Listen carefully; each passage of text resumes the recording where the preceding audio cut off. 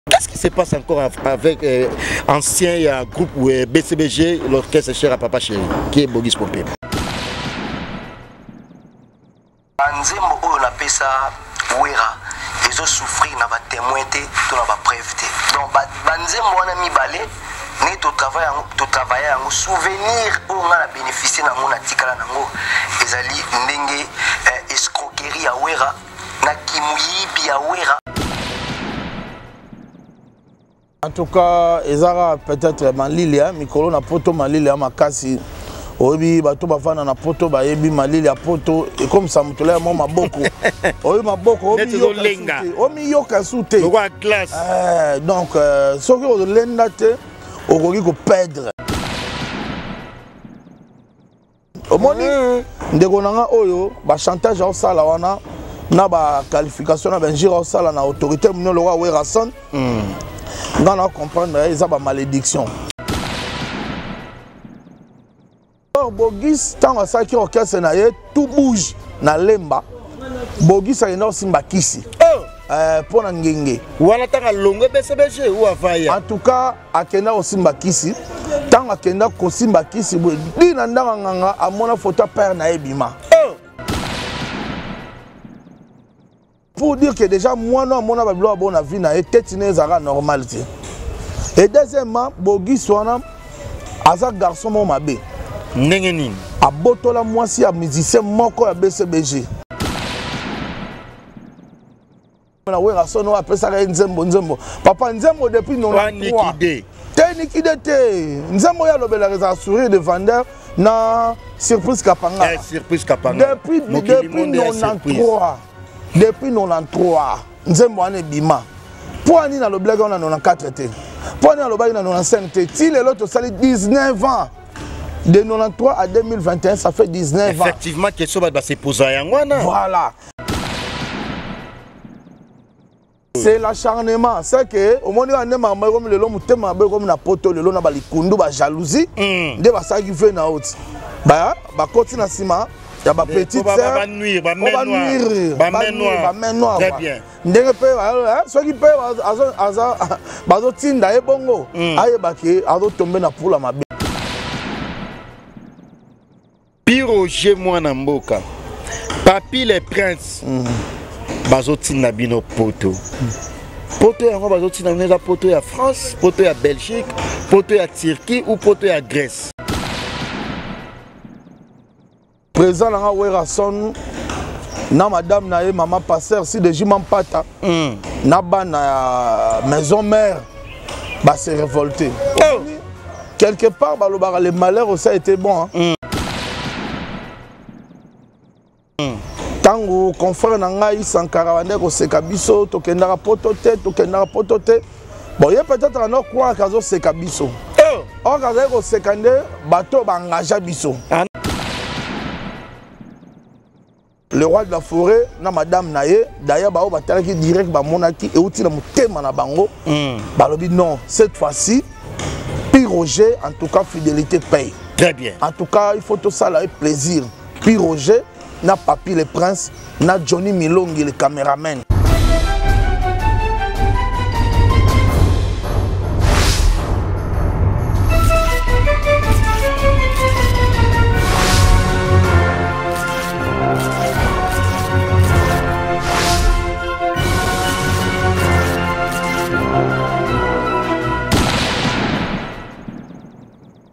Salut des internautes, nous sommes Clévois.com, la chaîne d'actualité et d'information, ensemble avec le vôtres Bakali Prince. En tout cas, je reçois Pierre Roger boc avec qui on va en parler l'actualité, on va décortiquer ça d'une manière ou d'une autre. En tout cas,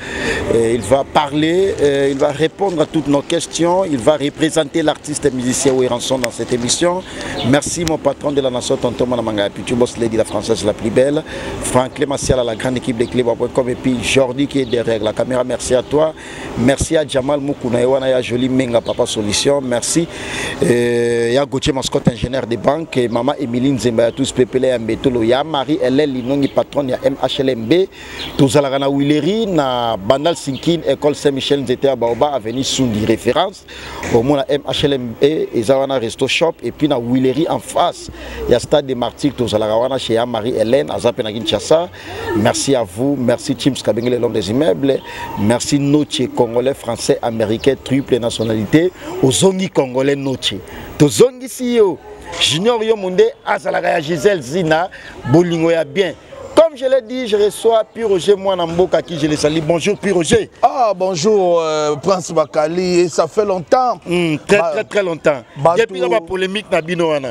Batou, ba bengi, ngai, trop. Mm. bato baregrete babi biyo na bino na prince bakali wana ezalaka bien vraiment bato balomona te babi mm. euh, la mosusu po actualité ezali kota vie na ye nde banila ye concert ave na ye na ndenge mpe vene azalaki na baproblème na justice aboyi mpo olobika mbamso tumola nga yango wana okimaki mpo na nolukonaki eh, kisinzoka oh, boyo oluka biso biso toke poto ya kenya toke poto ya kenya na kisinzoka tozokende poto ya kenya eh. tika napesa na mbote ya lokumu na patron na ngai werason hugo le roi de la forêt eh. yo bina nalongola matalatala mm. mobala mama pasteur euh, cdj mampata papa na exaucé na gladi mhm. en tout cas napesi bambote ebele esika azotala biso na minute oyo voilà prince bakali nasepeli komona yo mais très bien habillé oyebi na leli yo mabe na ndenge olateli tika oloba boye epuis matalatala mpe olati ya versas ah, eh. te omoni euh, d'abord naopesa mbote ya trop mm. na père spirituel na ngai nani wana euh, kombo na ye le docteur israël isambo okay. biso bana église colonne de feu tozalaka na lemba terminus wana esika topriaka mm. na aveni fulula numéro 50 donc euh, kuna balobaka na biso obiki alors nde nalata boye biso tolata na boutique Esther Collection. Yaza wapi? Esther na, Collection. Na limete 7e rue okay. résidentielle. Omonaka Côté pembeni euh, ya bondeko ah, côté place commerciale voilà ok so olingo ke bondeko omonaka mama na boutique d'habillement nga si comme talatisa nga dani chanu chinois congolais na nixon boutique ah, eh. te nga mpenza nalataka na ester collection ah, ebi eh olatisa ah, omoni biloko classement omoni biloko eh, mokoto mpena ya couleur ya veste ah. veste mpe complet namona mpe melia mpe alataki eh, oh. boye emeli alias eh, namonaki alataki mpe boye namoto asokisi concert na mikili namonaki alataki mpe kaka boye eh. ah. seke ye moto atindelaki yo te oyo oh, oh, nazongi na boutique este collection we en tout cas sinon tokota na actualité tomonaki hmm. groupe wenge mosika maison mare bazalaki na kikwit ah baye déjà kin déjà hmm. wana ezalaka vite fait ezalaki concert ya location ya nini non ezalaki concert kaka ya retrouvaille oyebi ba fanatique ya Werrason esali mikolo ebele mm. alors euh, bazali na souci par rapport à makambo elekaki ya ba zénith ya ba annulation wana mm. alors ba contact bamona Werrason mwana na bango ba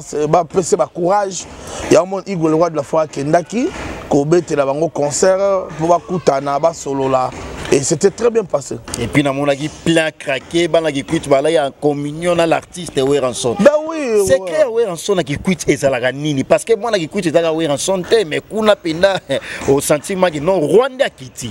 Weranson na Kikwit azala sympa. Mm.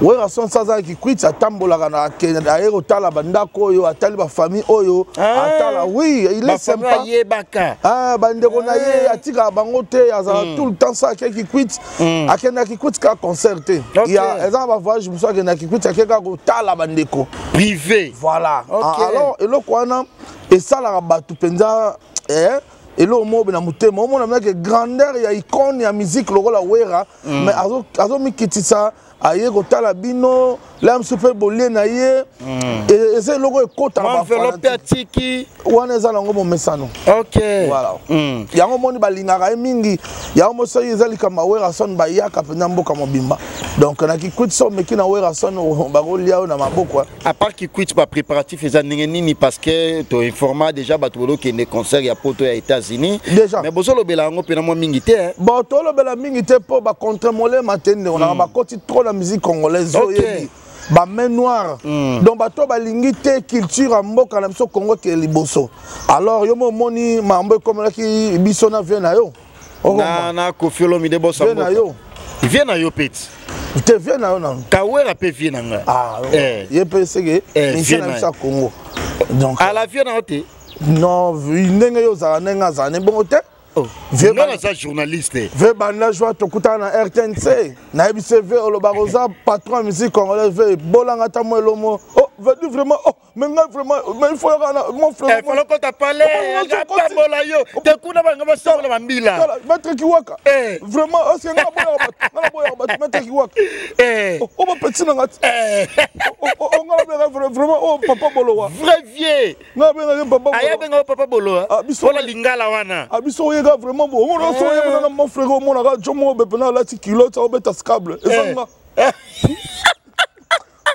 oyebi na sekisavia la sempa venga na kasaka alibere kaka sur place ekomi ya palais wana bato baosenga yo via koma na sisa ma kamera na oya na nga te te kuna mamoni ezalaka te non ah. ezalaka mpe ata moke te kamera ezalaka te baso babio pawe ranson kamera ezala nga na te biso kuna ezalaka te voilà alors concert yango ya états-unis eza ndenge nini bapréparatif wana tolobela te bomonaka surprise nga na babengo kaka prince bakomata lisusu te kuna kombata azala te okay. yaya états-unis kuna eza bato basalaka kuna mm. bato bakenda misala babos notie baza na ntan wana te mm. bapodo kaka lunga mm. baa na ntan wana te bapichu mbongo kimaki nkaka mm. ya pichu mbongo aza moto ya bakongo kimaki nkaka omoni, eh. omoni nzembo na ye te oh, nzembo na esa limite yango ezo frappe fort so otambo na banganda nyonso tu omonaka nzembo ya pichu mbongo nde ezobeta donc kuna mboka bapichu mbongo baprésident dada muzinga eza mboka babebi sugar bebe formidable donc euh, vraiment makambo ya bien eza kuna poto eza annulé zénith de paris ya weranson mm. bozo préparé états-unis mm. une information en notre possession piroger mwana mboka papi le prince mm. bazotinda bino poto mm. poto yango bazotina bino eza poto ya france poto ya belgique poto ya turquie ou poto ya grèce en tout cas esali nga bien ndenge opose nga question wana merci mikolo oyo président na nga werrason na madame na ye mama pasteur sideji mampata mm. na bana ya maison mère base révolte oh.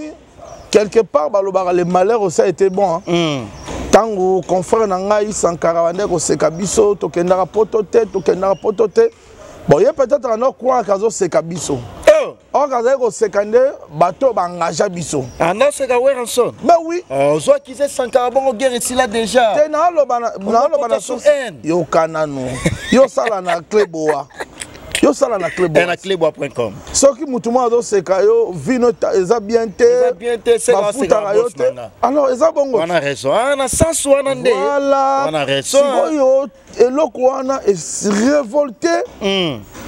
en tout cas euh, couple présidentiel nanga mm. est révolté ba fanatique ya maison mère lokola ba honorable Lutumba muta mbongo ah. eh, boyoka nzembo na ye kala mingi te bachims kabengele l'homme des immeubles e révolte ba Foule Lukis, le patron chinois noir. Il y a Foule Lukis, mais c'est le président. Mundele. Bongo Monga propre. Bruno Lubika. Bruno Lubika. Eh, wana na parlons. Babi aliaka na batu, amelaka na batu, aliaka na batu. Le président Bruno Lubika aliaka hmm. na batu, amelaka na batu. Ya Bruno Lubika. Matembela simandako.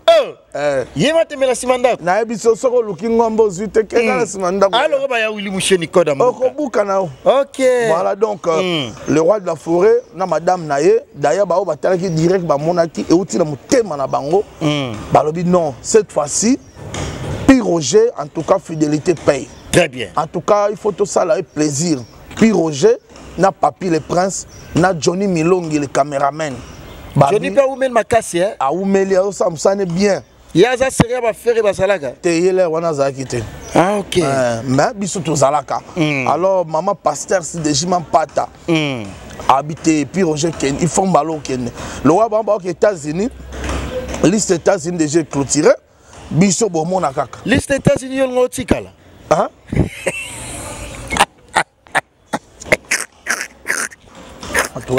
nayebi te moki teke na oke poto mosusu ah. liste états-unis doyondo linga otikala piroge naza te yango naza ofokeyimangisi balafio na mayaka bino mpe nayoka sango veno akenda otika biloko na kimbangisi eh, tobeta masola meso kasi otindaka kimbangisi nde bapoto nyonso otikalaka baclotire liste etats-unis yo ozalaki te bacree lo poto nyonso aka poto maintenant oti qatar oti qatar semaine passée nazalaki ata eh, eh, dende wana omona te bozalaki na qatar nazalaki na qatar nazalaki 4 jours atuka yo fo otambola te kana atambola te nayeba pe moto azotindo kenya wana atindo na kenya te nake poto ya kenya nakisi njoa ah. eh, toke poto ya kenya talaka azobenga kenya poto oyo ngai nakenda kenda okenda te ya kenya nakenda trop na kenda yango mbala liboso na kampala na kota eh. na nzela voiture eh. ngai na bos casero naye kokenda yango lisusu ntango nazalaki na kisangani na ke kenya naye kokende su kenya le nakende dubai nakende na kenya airways eh. namataki na kenya airways tokitaki scale na kenya après toke dubai ntango mpe towuti tokiti suka na kenya wana yo na nyamakor nde nani Ah, wenge bokoma na deka eh. te nga nabokola banyama te kor oyebi ye te te oyo ya bino alenga mbe boye mwa filme awera boye te nayebi ye te oyebi nyama kor te nayebi ye te ah. wana efoke nazosankara alobaki na ngai ayebi oke nazoko te banyama baza sankara baki ayebi okoti lupao nango omoni ata nyau sankara baki ayebi ye sankara aza ancien la chef na donc euh, pour dire que omoni ndenge ozolukola mosa bato bakufa laissez les morts laissez les morts enterrer leurs morts laissez les morts enterrer leurs morts une question de curiosité tozonga wana yo oza effectif ya wenge musika maison mère ngai nayebi mambo oloba na te fo oluka nde ye moko le concerne ngai komi na pire ozo mwana mboka mais okosa na information te naza information na ye te oza na information ya café room oui to akendaki kwit ayaki aza bien oza na information ya papi le prince très bien azali tozalaki na dimanche na batelevision ah, wenge ya 52 nango te te na nango ta ana kin to poto na minute oyo nayeba kutu te oh! ah, pioge ozoniye mu effectif ya, ya mouvement mais nalobi ke namonaka ye te naloba verité nakosa mpo ya nini Nga na linga nde hypocrisie te ndeko na ngai. Nga na lingaka te likambo na yebi te na pona ko sepesa ka batu na lobake na yebi. Na minute sur na département marketing boa combien? Oba oh, osala. Na département marketing toza 3. Nani na nani? Chef na bango Piroger. Oh! Papi le prince. Okomi chef. Nazalaka après directeur marketing ezalaka nga. Oh! Depuis kala. mais oloba yango te naloba ndenge nini après docteur pichu muzungu après chef na biso docteur pichu musungu ezalaka yo soki ye aza empêche motu eh. acordonnaka makambo ezalanga ah.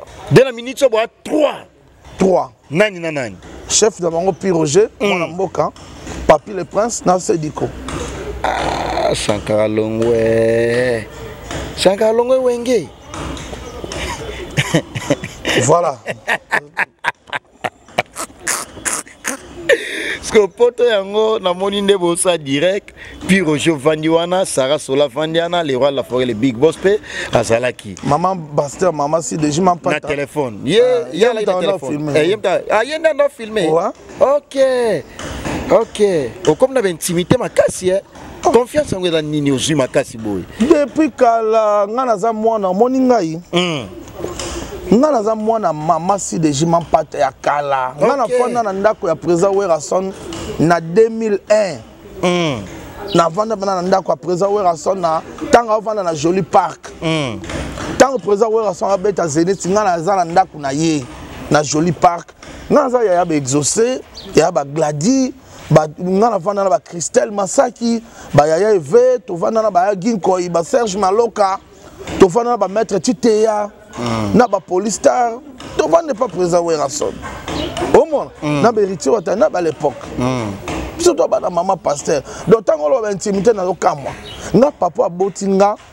akundama na chemise ya migler ya sika oyo oh, mapata akabelaka nga okay. tellement elekaka kitoko mingi na bon souvenir na beloko na okoka te mm. nga na obebisa yango oteka te nake kokabela papa na nga ah, okay.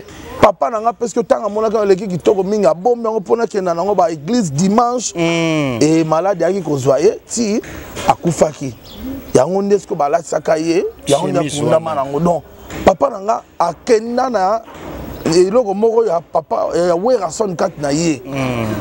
tala eloko ya bongo obi bamoto lokola nga soki na trahi werason ezala malédiction mpo na nga yango wana ozoba ba 12 ebele me olongwaka te oza toujours fidèle nalingaka makasi hmm. omoni euh, dans la vie hmm. amour nyonso esenga sacrifice bolingo esenga sacrifice car dieu a tant aimé le monde, mm. il a donné son fils unique afin quiconque en lui, croit en lui mm. ne périsse point. Donc, Nzambe mm. kutu a sacrifié. Maman casse na Bible. Hein? Nzambe kutu a sacrifié non moi na na Yesu pour na bolingo ya mokili. Et pourquoi pas biso to sacrifier pe hein ba 12 ba nini pour na bolingo ya ya mutu na olingaka. Mais 12 ans ba sengi mo boye ba bongo ke chez Ferre mokili ningana au pire genre qui ne jet set. Wana za ndoto ya baba. Oh! ngai orchestre moko te bayebaki proje akoya ne epa biso te piroje azobeta no boye ndenge aza boye lokola balider oh. elambo nga alati hmm. tala concert ya emelia na cabaret emelia alatayango yo nini na emelia champion adol ya willi penseni non c'est un vieux que j'apprécie beaucoup hmm. ye moto apesanga nkombo ya garçon modèle ah, nde bobenganga garçon modèle moto asurnoma ngango c'est emelia hmm. c'est un vieux que moi j'apprécie na comportement na ye na ndenge na ye donc euh, omona pour dire que na envie ya baorchestre mosusu te très bien je vis très bien tel que je suis là mm. e ngai nayebani liboso ya balider ebelo babengani balider elo ngai nayebani liboso na bango e ebele te na lision te na bato ebelo lelo bokoma kobenga baprésident balider ngai déjà nayebana liboso na bango mm. yango mona nazalaka sans complexe mm. ngai pi roger lelo nakotrahi wera te mpo nakepa nani très bien ouais. merci beaucoup pi roger mwana mboka mais au moins mpo toclotire na mamba poto yango eza euh, na badébut décembre ou eza na 2022 non c'est une surprise hein, c'est une surprise omoni euh, mampata aza na bonzambe mm. aloba apamba te aza na saint esprit kati na ye mampata aza bama paster ebe eh aza mosali na nzambe akokosa te akokosa te mm. aloba likambo na sentiment te très bien ntango alobi likambo seke euti na, na kati ya ame na ye mm. saint esprit moto etindi abimisa likambo wana e président werrason c'est un big boss mm. poto elobeli eloni ntango aconfirme abete likambo sete pendant deux fois trois fois abeta likambo sete seke ezouta na motema na ye il dit, il dit, il a dit bien que vraiment piroger il travaille très bien avec beaucoup de sacrifices bolinga mosala na bino alors bozo mérité litomba mm. c'est lui qui a dit donc euh, tozela surprise aototi na qatar nakendaki qatar na ye tozela l'un de ces quatre matins je me suis omonaka ke ndeko na ngai otikaka na aéroport bo wana mpe api oyo jesu amati avion amikile oza mama na feti na avion nayebisi yo nakobeta bashite mpo nayebaka te ngai na kisi nzoka tosala poto nini eh, nzoka oti poto ya cote d'ivoire ah, boniko yango omoni kolaka kisi nzoka konani akokende kaka poto te otyola ye akende kaka nabia abwaka bacaps kapangala batinda ye abwaka bato ebemele décision melamonaka lisusu aswani sula mama chateau rouge kisi nzoka yo mpe abaki bamama oyo bakendeki na versailles kote kofi olomide akendaki kose présente Ah. bango nyonso te balimbisi hein? te balimbisi ah, eh, bacomprendre balimbisiwana sayo na biso mais sara solo tomonaki na poto hein? azongi eza mpe na poto ya solo auti suisse sara solo auti suisse pour dire que poto eza nango kaka mboka biso mm. biso mosala na biso eza na congo mm. biso mosala na biso eza na congo biso totravaillaka na congo mm. poto eza kaka ke tokokende mission de service ngai na na masala ngai avanda ah, niko niko elongo mm. akenda poto deux jours mm. ake mardi azongi jeudi samedi ake lundi azongi voilà okay. niko elongo pour dire que bato mosusu batravaya na bango na kinshasa awa poto eza kala mosusu akendaki mpo na précision moko boye azongi mm. donc poto eza nango strate oyo bato bakanisaka ke soki oke poto il faut kaka okima preuve aneke sara solo aane moto alar te mm. sara solo aane mvandu te mais sara solo batindi ye poto pour 10 jours 9e jour azwi avi azongi congo natindaki werrason ka cadre ya tourisme atali kaza mwana mwasi mm. amipesaki corps e a mpo na zenith okay. zenith erate e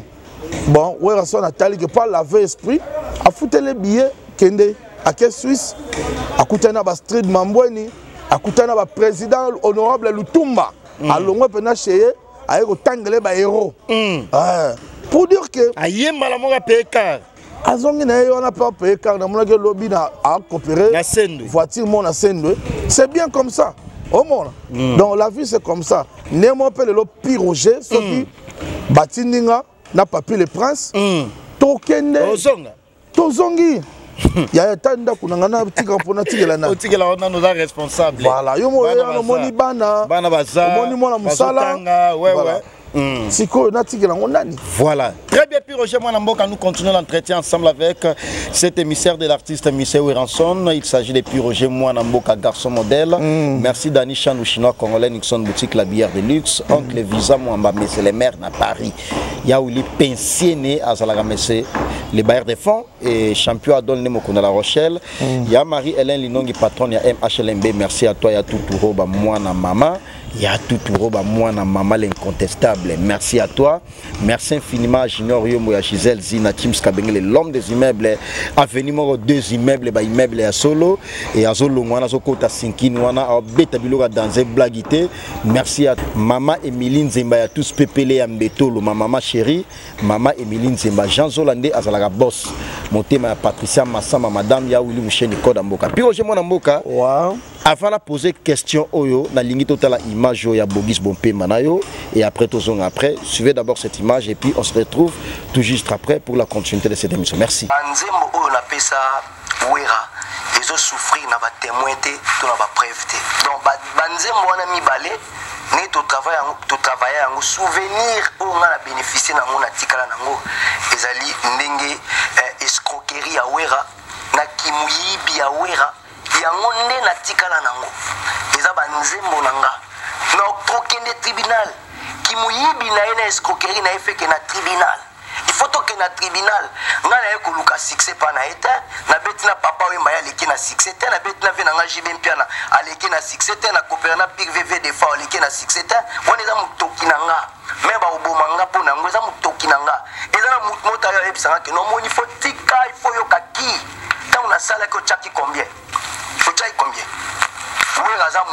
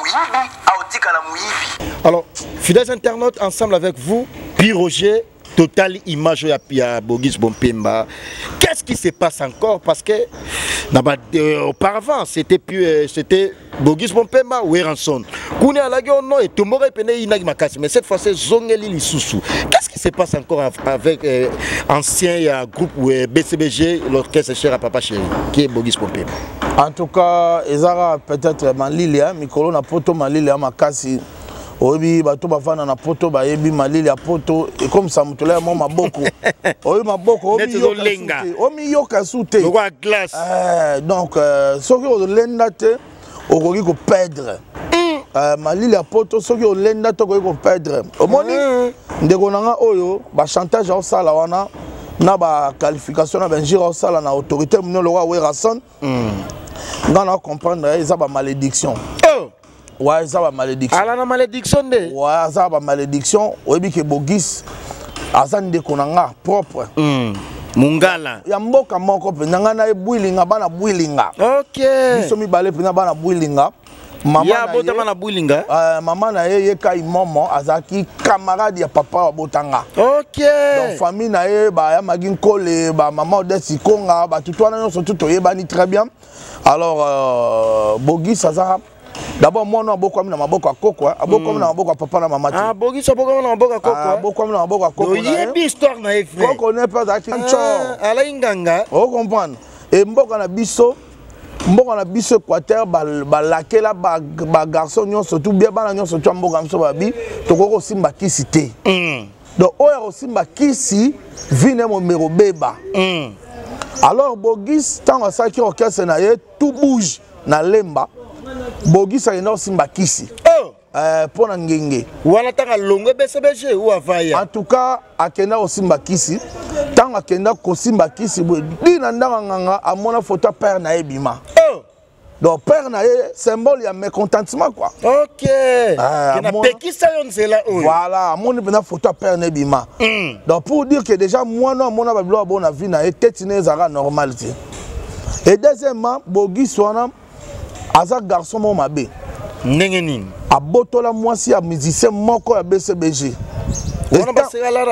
ntango wana bcbg abotola abeta moningani mosinzo hmm. wa e, moninga na na susi ya mwasi na ye akufa eh. donc makila motu etambola likoloalaki misa nsima to baoyo bayemba na otanga eloko ya nkombo na ye oh. ah, na otanga eloko ya nkombo na ye donc osentir ke lelo oyo akufa wana mwasi ya ndako to makango mwasi na ya ndako sikoyo ye abeta ah, mosisa mabe eh. ti lelo baza nde na ndako moko mwasi baza nde na oh, ndako oh, bana poto boye voilà aza ndeko ya binda base ah, oh, onani euh, sunda base binda base ah, mwasi nde moto aza ndeko ya binda ah, base voilà donc pour dire que bogis ne eza wana azali na bamalédiction makila ya moto etambola likolo na ye e abukaki mibeko ya mboka na biso epekisa bato bakota ndako ya nganga te ye akota ndako ya nganga donc ndenge eza wana teti ne efonctionnaka te siko problème na ye et en plus mm. troisièmement bogisa vanda te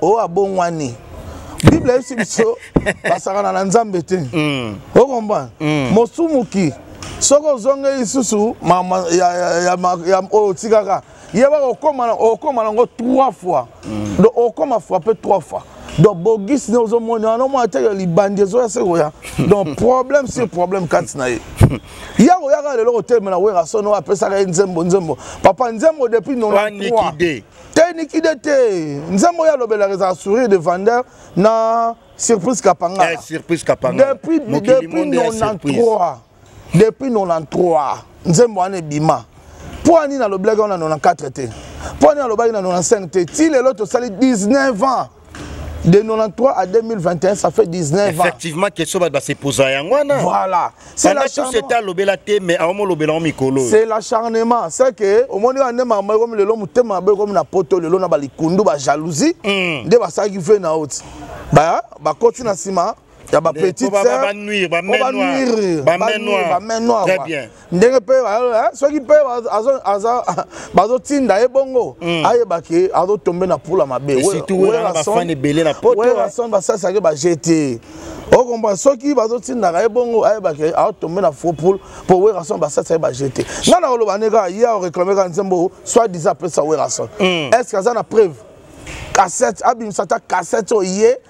asalaki nzembo wana siko yo oyebi ye bien parceke boyebani bafamille très bien na otuna mpe ya jamal muku na ye wana ya joli menga responsable ya mm. lemba mais ala na londres na otune bogis mm. mais au moins par rapport ya mamo nde ozolobela pi roger mm. toyebi mai eningana ya pamba te mais ozo reconnaître ke bogis bompema apesa bato bachamp mais oui azali azalaki pire petit ya werason donc okay. moto amemai na wenge se werason eh. eza ndenge moko mpe alain mpela mm. eza ndenge moko mpe bavie nanga kokose oncle ba alain mpela bamanda chante baza bapetit ya werason ba, ba serge mabiala mm. bavie kumen ba, ba ferre gola ba te ba pauvre te ferre gola chanteur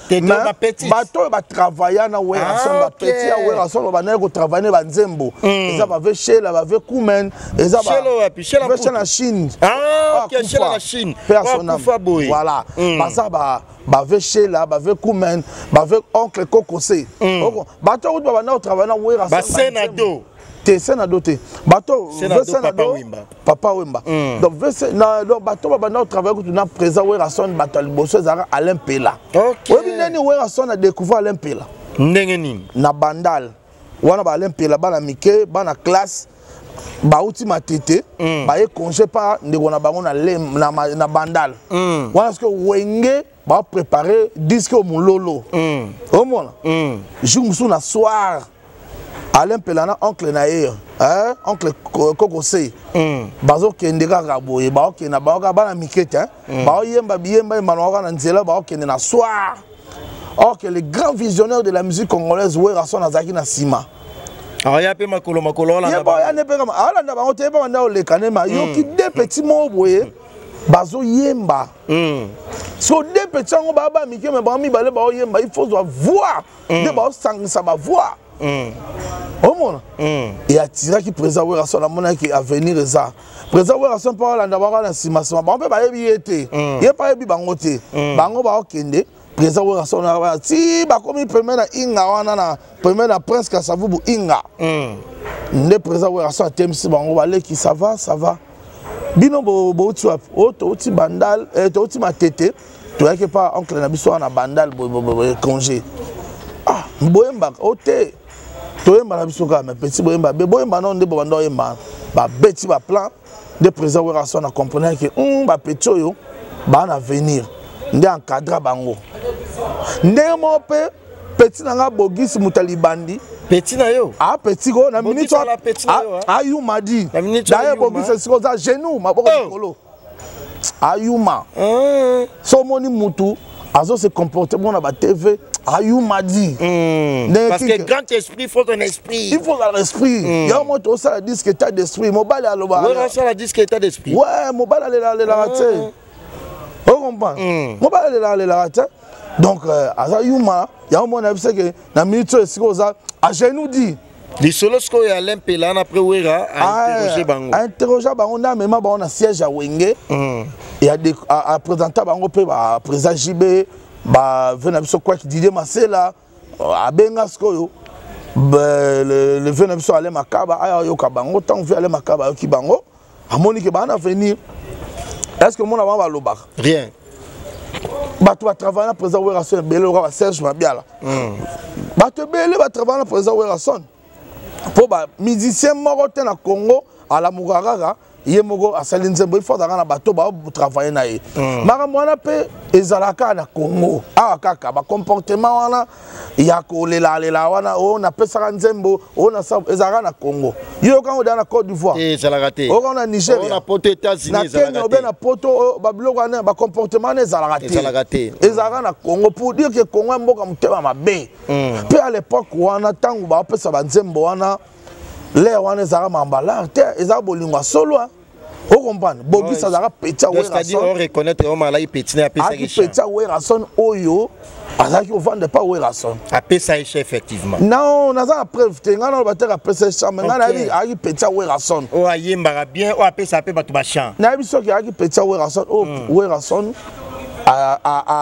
adopte na palais ndenge adopte mpe nga ndenge adopte mpe baheritier ndenge hmm. adopte batutu avanda mpe na palais le roi de la forêt ocomprendre mm. abénéficia mpe na mwa baavantage ya le roi de la forêt ocomprendre mm. lelo so akoma mise so ayemba na vie na ye na apesa ye euh, courage ya kosala musique c'est werason bon ye siko werason mpe aleka na tv aréclame mpe euh, formation ya forma ye po formation mpe ofutela yango formation afutelaka bana no ntango akenda ntiki ofutaka minerval makasi alors ye ntango werrason apesa ba courage ya kosala musique est ce que ya futa ah? wana raison hein? ah mais oui est ce que ya futa mpo lelo ndenge akoma chante yaki chanteur te ti akoma chanteur eza werrason parceke mai ninga na apama te pi roger ozomona te ke non peut-être mwa libanga moko boye ebambami na ebale yango wana ebale bouge eza kaka ke lelo yo na poto yango ekomi kaka bongo bazoluka konuire kaka bamusicien ok yo oyebi daopesaka exemple avie na biso ya mont fleuri mm. vieux akendaki ndule mais yo oyebi oyo balukelaki ekomi maka mosusu donc euh, yo so omona mpenza congolais moko aza na problème ya justice kuna na mikili me bandeko nde bacongolais batelemi libanda mpo bazela kaka ke mm. ba condamner ye mutema mabe tala niveau mm. ya mutema mabe biso ba congolais tokomi ko bomana très bien muninga za likambo pasi bino bo se donner la peine na mama lile poto bo vanda libanda wana bo zelaka ke pasi bo bo zelaka malheur na ye mawa yango moni lelo oyo pona monaki libandi yango pa toucher pe na vin noir nani bokechura nani eh. te wana so tozwi tolimwisa ye omona ye tokolimwisa ye aza touche à tout seconde azoyeba makambo aloba azoyeba te afinga nani atika ah. nani azoa touche à tout le moko hmm. akondane bacombattant ye le moko akota boye le moko hmm. abima boye eza mpe manque à faire ok so omoni mutu soit disant musicien akomani kaka kolekaka na tv areklamaka kaka alobaloba ani na manque à faire mpo so ozwi mutu lokola fere ndenge aza na batravail na ebele na studio ndenge aza na baprojet na ebele est aza na temps ya kovandela te valoba bilobaloba o oh, vie na yo fali ndenge nani eh? nani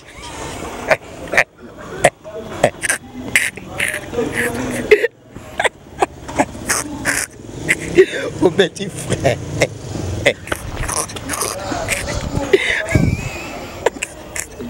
olongo matalatala mpo na mpo tala nga mpe otala nga na soni vie na yo fali nayebi age na nga tatuni mabe ye vie yango euh, vie yango ebandaka ya ndenge nini oh! aza vie na ngai na likambo nini ah! c'est un grand artiste de mon pays que moi j'apprécie mm. mais kokende yango na ndenge okende yango na tuni so eza bongo te te epo oyebi age na nga po sankara sankara la vie na yo ti siko wana masa sankara nalobi na sansu wana te sankara kezavena na likolo ekemba to na likambo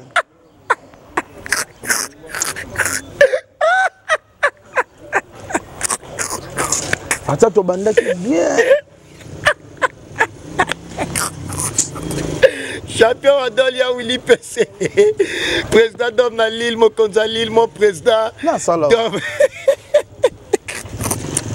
mabita kisombe motema champion caps kapangala omoni pi roger mabita kisombe ya gotie mascotte omoni pi roger mwana mboka aboyiki aza vie na ye te deni ya jimi belao aza aza bien ya jimi belao ayaki awa akufeli mama toluki ye aboyi koyamba biso aboyi toyebi te bon mutu so ozoluka ye aboyi tiko force ouais. eh, biso força te puis oje totiki eh, totiki na biso mm. au moins tochute no parce que la télé c'est l'état fabrigas mm. concert na ye ya lyon eza annulé un message mpo na mwana na bino ya palin oyo eza fabrigas epuis komona musique na biso nde ekomi na combat ya koannule baconcert baévénement ya bamusicien nyonso to na poto pire conseil nini okopesa na bandeko na biso bakomata nana conseil opesa bango te bacontinuaka motema mabe na bango hmm. bacontinue kaka oyo bazosala elo nyonso ezalaka na suka hmm. ocomprendre hmm. ata mbula noe ebetaka mpe ekomaka na suka donc euh, bakoba kaka mais un jour bakokoma Mm. Et surtout nde baomi ko toucher kimbangiste. Mm. Ke esika basuki yango wana. Esika basuki. Eh. Baomi toucher na kimbangiste. Ndenge bakomi ko toucher kimbangiste déjà mm. elakisi da ke botutu na bango bene komi na suka. Mm. O comprend. Donc mm. bakoba bakoba mamu na bango ba sala biso tozali donc euh, vraiment na félicité héritier watanabe mais c'est le chanteur mais c'est le chanteur azo corriger fiki na biso que akrangi mm. akrangi mm. lelo oyo elakisi que mwana il faut tosaka ba parents Voilà. Il faut zalaka na kotosa ba parents pour au mona bénédiction. Otinda pe batu ba finga ba parents te. Ah. Eh. O comprendre? Mm. Moi na tosa mu esiko bima. Esiko bima ba sala na ngo te. Mm. Conseil wana na opesa sele yo. Oh. Sele yo. Oh, ngo touche sur sele yo ko meka te ya kama be. Te sele yo na zo ba te soki problème ni ezuie. Asali su nini sele? Sele yo na félicitaki yo. Yo to ke ba bunya na ya otambola. Ah ya ya otala ki ete pa na tilo kole. selo ya bungi selo ya abio aza nde ministère ya, ya venga dios aza nde musicien ya soki alobaki place abimela mais il fallait pas tanga mbuta likasu amisa ah, oh. mbuta likasu ah. sele yo kozongela so mamba bongo te sele yo oza mwana bino ngai surtout okay Okay. Celeo c'est un frère, c'est un frère. Mm. Tokutanaki na ye na matanga. Et puis ya... mwana ekanga pe. Ouais. Mwana ekanga azala biloba loba te na mm. kamwa likambo yango pena. Mm. tozalaki naye na matanga ya diana tokutanaki wana mm. malheureusement nasepelaki kaka te ke selo atelemi azokende me moto akipe ye te oh. na kiwenge mpenza tosepelaka te alekaka bongo sans impact kamera elandaki bato plein ozalaki te nga azalaki wana esalaki nga mpasi eswaki yo oui. yo oliaki na gaz te bina file oh. bina file ntango ah. akende mona ezalaki problème ah. esalaki nga mpasi bina file bato balandi ye plein plein sele yo kara sele atemi na camarade ah. mobe ajika baoke bango mibale kaka boloka bato bakesomba nguba oh. bakena bango kaka esalaki nga mpasi bato balandaki ete pati pati mwana wenge sele oyo icon animation sikotala héritier wata na bazala esika bongo wata diabulu na plein ah! wata ebokanit eh, wata héritier seko miwata na wata temewera sala mosala ferre aleki wana fo mona nde bato baolanda bato nyonso tu obia emelia neti mpo na yo keso moye eyeli ngai bamise tu na minutes oyo tolongola bawera nani bajibe bakofi ba baninga na bango te eh, te ba baninga na bango te baoyo nyonso batikali wana babon musicien mpo na yo tangela ata 2 ou 3 babon musicien hmm. oyo ezaki non ba succès lokuta te mm.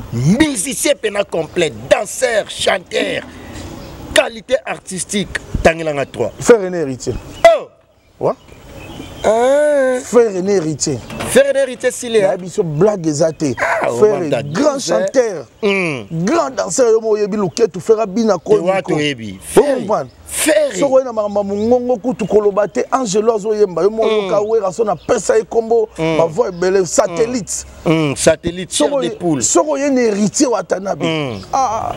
wera abengai maître supérieur maître supérieur luketu yo momona zeniti bato tu baganga héritier ayembela yo aza mpe na charisme mm, aza na relation mm, ya makasi aza akape ya osakanate blague ya tokutani na ye tu mituka voilà mm. donc ya mpe bamisene mpe bayebani makasi omona baambulance bagires foudre fere mpe bamisene mpe bayebana omona sikoyo bakalite hmm, wana raison kote wana kutu eza kutu so longo wana fabrigage mpe sava ah?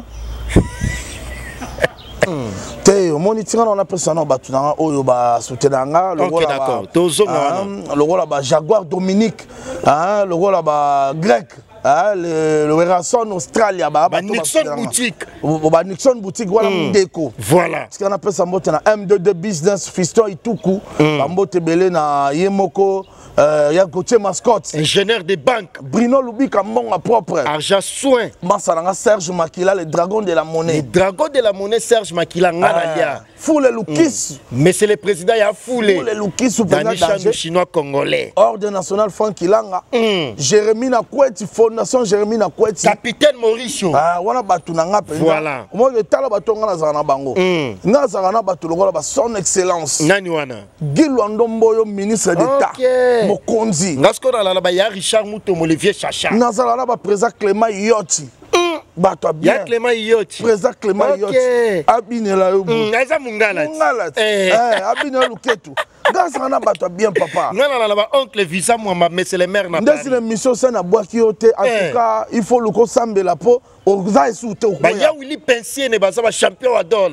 Ah. Eh. donc ngai nazalaka na bato lokola ba président dada muzinga ngai siko bamama émilie nzemba ya tous pepela ya mbetolo na jean paul welli de london le silencieux de kabinda masa na ngai miguel mvemba tozalaka na ye keni mbumba arme lour patron na bordeaux ah. eh. okomi na bato nakomi na bato ah. eh. nazalaka na tonton kikula moto na tembe nazala prophète israël konde oyo azoclotire chaine na 100 jours et prière na saint denis wana na makambo etali onction mpe miracle na prophétie ngai nasambelaka epai ya docteur israel isambo biso sikoyo bana paster mai kalambai berger junior mabondeli asambelaka bien eh. namonaka fifi siwa atyaka makasi eh, siwa stone eh, mm. abontimi ah, na biso donc voilà donc omona bina ke non mm. biso toza